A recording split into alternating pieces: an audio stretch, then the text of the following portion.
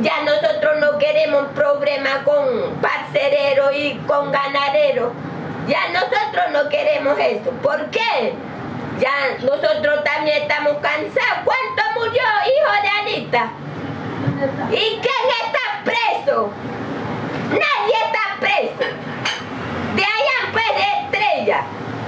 De allá ma- mató hijo de Anita y nadie está preso. Nadie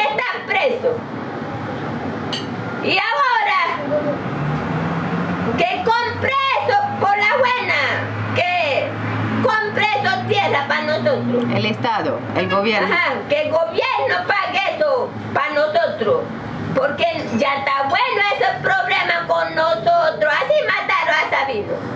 Así mataron a Sabino. Ahora es que va a matar a nosotros. Nosotros no estamos haciendo nada a ellos.